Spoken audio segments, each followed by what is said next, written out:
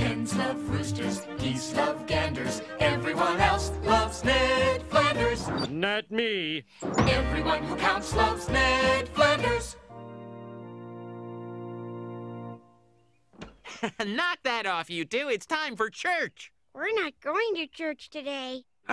what? You give me one good reason. It's Saturday.